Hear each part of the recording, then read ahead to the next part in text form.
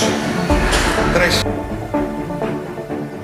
eh, ¿Cuál es la predicción para, para, Carlos en esta temporada? ¿Cómo empezamos? Con un Open, ¿no? Que me dijo, creo que es en Castellón. Empieza en Castellón, eh, la semana anterior al Arnold Classic. Y un poco es la, el test de prueba, de ver qué, punto consigue sacar, con qué peso consigue llegar. Estamos en la idea entre 108, 107, 108. 110 sería lo máximo que a lo mejor que podríamos sacar aproximadamente. Siempre es todo teórico pero y la idea un poco es eso, ver la ganancia de masa, el último año que salió con 100 kilitos justitos, eh, una ganancia de entre 8 kilos, 9 sería ideal. Claro. Si respeta el punto que tenía antes, eh, vamos a la apuesta de este año. Luego es lo de siempre, es lo que por nuestra parte podemos hacer, Ajá. que salga con buen punto, que salga con más carne. Y luego en el escenario, las clasificaciones, pues a ver quién está al lado, a ver qué, Ya, pasa, claro. qué competidores salen. Él está eh, entrando a competir en campeonatos internacionales. Sí. Creo que el destino final eh, para ti, eh, que más jugo le quieres sacar, es en el Mundial. Claro, el- ¿Verdad? ¿Te gustaría hacerlo campeón del mundo? Ya Claro. ha cogido una medalla de plata, ¿verdad? Claro, la verdad es que la- el Mundial siempre es el, y un poco después de tener su campeonato del mundo el último año, menos de 100, ahora cambiar de categoría, poder estar ahí sería ideal. La verdad es que, y en principio la verdad es que con, con estar en la final y, y estar ahí lo más cerca del podio, ¿no? Dentro del podio pues todos los puestos son buenos ¿no? y ganar sería pues claro lo ideal. Pues, La leche, claro. Sería la leche, claro, ganar un- el campeonato del mundo en pesados, en más de 100 kilos, sería el objetivo. Así a bote pronto, en su primer año como pesados, es joven, tiene 30 años, eh, uf, es una, un obje- a mí me gusta ser todo bastante cauto, entonces eh, es mucho adelantar, mucho, mucho plantearse, porque si no es muy fácil llevarse un bofetón. Oh, claro, Pero también. entonces, pero, pero bueno, ya digo, con, con que este año es en el Mundial está en la final, luchando en la final y de ahí para arriba, del, del- del sexto para arriba, todos los puestos son verdad. Vamos. Un, dos, un, dos, tres, cuatro, cinco. Vamos. Arriba. Un, dos, un, dos, tres, cuatro, cinco. Vamos arriba, Carlos. Un, dos, un, dos, tres, cuatro, cinco. Arriba. Un, dos, un, dos, tres, cuatro, cinco. Arriba. Un, dos, un, dos, tres, cuatro, cinco. Arriba, Carlos. Un, dos, un, dos, tres, cuatro, cinco. Vamos arriba. Un, dos, un, dos, tres, cuatro, cinco. Vamos, caballo. Arriba. Un, dos, un, dos, tres, cuatro, cinco. Aguanta. Arriba. Un, dos, un, dos, tres, cuatro, cinco. Acabamos. Eh, cuando un atleta experimentado recurre a ti, a cómo es eh, que Arturo organiza todo su plan. Bien, nosotros planteamos siempre, el- básicamente, eh, la división del, del periodo de precompetición, lo dejamos un poco apartado, ¿no? Lo dejamos siempre un poco, y luego planeamos que reservamos ahí pues, en torno a cuatro meses, cinco meses, eh, que es un poco más específico con el tema de la dieta, los ajustes, y luego el resto del año vamos haciendo eh, lo que sería una organización cíclica eh, de las comidas. Pretendemos siempre intentando subir la comida en la medida de la tolerancia que tiene, eh, que coma lo más que pueda. Juan Carlos va subiendo la comida, que si pues tomas de 60, tomas de 80, tomas de 100, de hidratos, y subiendo, y, y subiendo.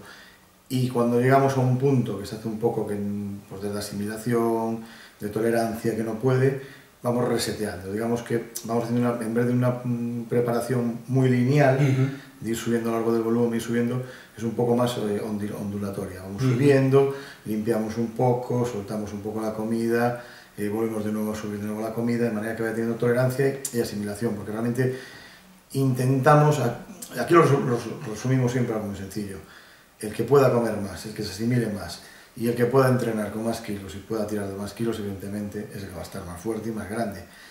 Y eso intentamos llevarlo en la medida de lo posible, pero no siempre se puede hoy comer más que ayer y hoy tirar más que ayer. Entonces intentamos un poco planificar los entrenos con periodización de las cargas, Ujú. como cualquier otro deporte, ¿no? pues organizando por intensidades. Y por otro lado con la dieta hacemos algo parecido también. Hay época en la que vamos intentando forzar, comer más, cuando llega un momento, por ejemplo, Carlos le pasa que él cuando está ya comiendo mucho, está encontrando más pesado, a diferencia de otra gente que es cuanto más kilos tira, cuanto más fuerte está, cuanto está más pasado, se encuentra más a gusto, Carlos, por ejemplo, eh, no es capaz ni de entrenar a gusto. No está a gusto comiendo con mucho, encontrándose muy fuera de punto, no, no se encuentra mm, para tirar, para tirar kilos.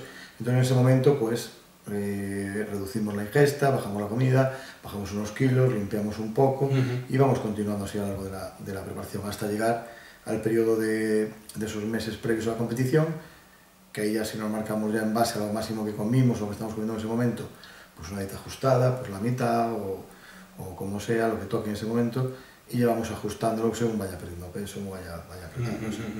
Es una dieta más, más típica en función de, de las semanas.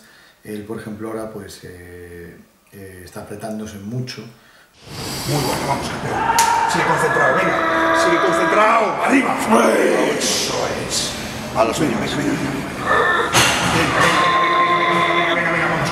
Una más, una más. Déjame. Venga, vamos. Vamos, vamos, Listo. vamos. Muy bueno, tío. Muy bien hecho. porque la verdad es que eh, nos coincide una preparación larga, larga porque empieza a competir ahora eh, la semana del 15, el 15-16 de septiembre y luego los mundiales nos metemos allá a mediados de noviembre, son, hay muchas semanas, hay que estar en forma eh, a- para el mundial a tope, pero tampoco se puede salir mal ahora, entonces eh, complica un poquillo la, la preparación en ese sentido, pues el ir, ir apretándose ahora para llegar bien ahora, pero al mismo tiempo poder estar lo suficientemente fuerte como poder aguantarse hasta noviembre y entonces estamos ahí ajustando un poquillo sobre la marcha. Si vas a trabajar jodiéndome, te meto más peso, ¿eh? Dos. Eso es, venga, vamos. Arriba, eso es, muy bueno. Vamos, Carlos, baja. Arriba, eso es, baja. Arriba, muy buena, baja. Arriba, muy buena, sigue. Arriba, muy buena. Arriba, venga, empuja mucho. Muy fuerte, vamos. Eso es, una más. Una más. Una más. Vamos. ¿Qué? ¿Cuáles son eh, los puntos fuertes de Carlos y, y los puntos débiles? Hombre, el, el punto fuerte que tiene por encima de aspectos físicos es la constancia y lo disciplinado que es. ¿eh? Es alguien disciplinado, constante, pero vamos, o sea, al, al máximo. No me dejes avanzar, ¿eh? Jode mi vida, tío. Una, dos, vamos.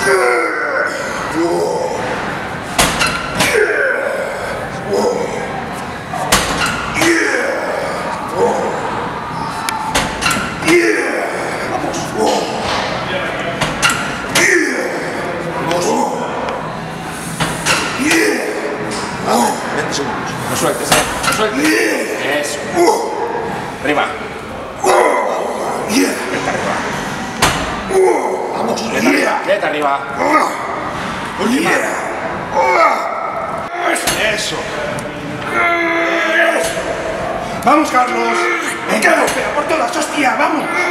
Eso es, eso es, vamos, vamos. Cuatro, cinco, seis, siete, ocho, vamos. Nueve. Aguanta la negativa. Uno, dos, tres, cuatro, cinco. Arriba. Uno, dos, tres, cuatro, cinco. Última. Déjame a mí, déjame a mí, déjame a mí. Uno, dos, tres, cuatro. No pesa, venga, vamos. Ahora empieza lo bueno. Venga, una más lenta, venga, va. No pesa. Venga, vamos a por las rápidas. Rápidas, explosividad, quiero explosividad, vamos. Uno, dos, tres, cuatro, cinco, explosividad, seis, vamos, siete, quiero luchar por un trofeo, no. Vamos, nueve, diez. Lenta, lenta, lenta, vamos. Venga, tranquilito, eh. Concéntrate. Vamos, eso. es. Tranquilo, tranquilo, tranquilo. Dosifica y respira. Tranquilo, venga, vamos. Vamos, Carlos, venga. Eso es. Eso es, vamos, cabrón.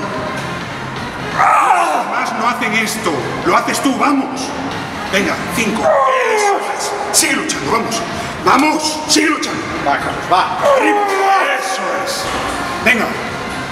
Siete, vamos. Arriba. Eso es. Vamos, Carlos. Ocho. Muy buena. Vamos. Nueve. Muy buena. Diez. Venga, diez. Rápidas, vamos. Uno, dos, tres, cuatro, cinco, seis, siete, ocho, nueve. ¡Dios, la Virgen! Welcome. Oh. Ahora vimos un momento muy delicado en el mundo del culturismo, dicho entre comillas, porque todo el mundo busca siempre que si la comida trampa, que si qué días descanso, que si cuándo puedo no sé qué, cuándo no puedo, él lo lleva todo muy eh, al máximo esfuerzo, todo lo que puede dar de sí, eh, de hecho hay que marcarle más pausas de descanso, de, de, Las que de tener, que las que sí, sí, es Sí. muy, eso es su, su gran base es de, y luego pues el, el físico que tiene en general y las- el aspecto, la línea y lo fino que sabe competir son sus, su gran baza en competición para un peso pesado. Y, y su punto débil, bueno, pues realmente pues como cualquier otro atleta tiene algunos grupos que están un poquito mejor que otros, que pueden todos que mejorar, pero realmente no es un, no es un atleta que tenga grandes fallos, la verdad. Tranquilo, Carlos, que no hay prisa. Respira, toma tu descanso. Diez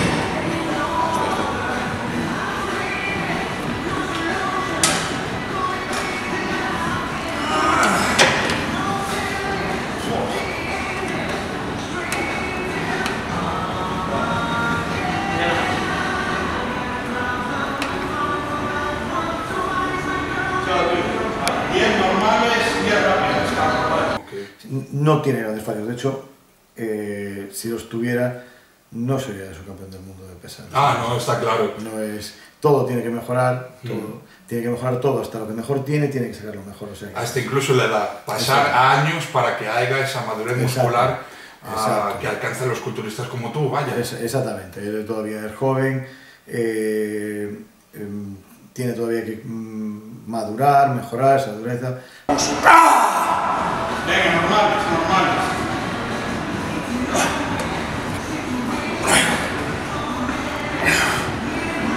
Vamos. Cinco, seis, vamos. Siete, sigue. Vamos. Rápida, rápida, rápida. Vamos, rápidos. Ya, ya, va. Vamos. Vamos. Seis, Vamos. siete,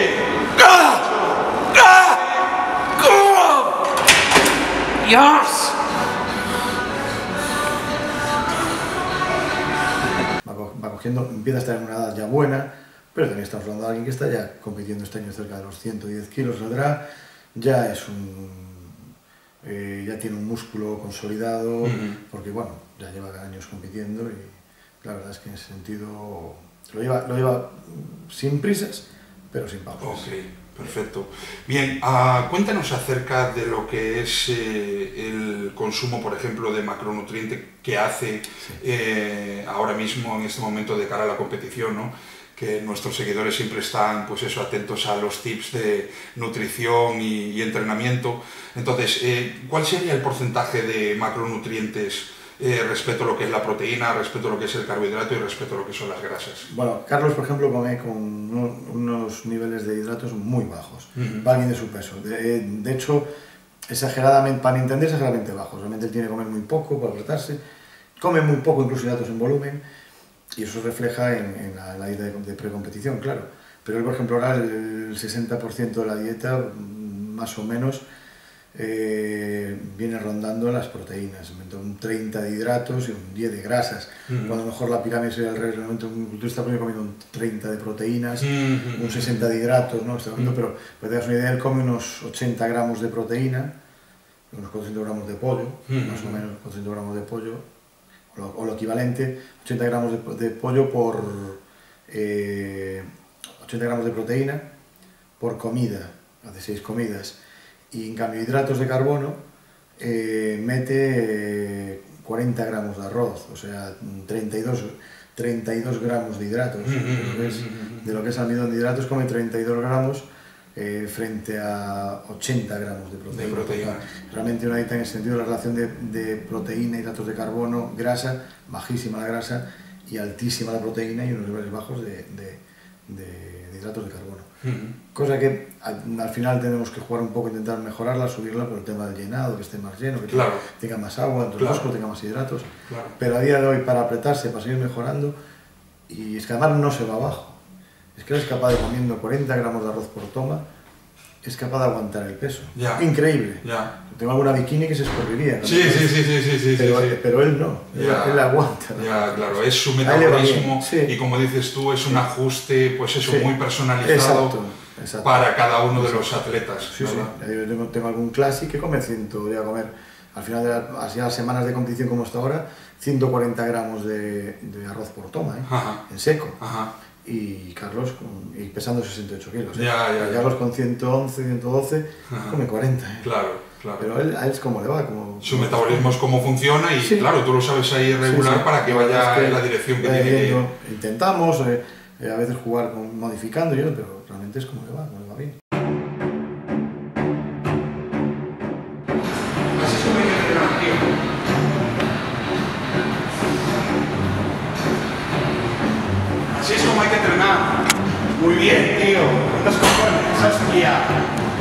Calidad de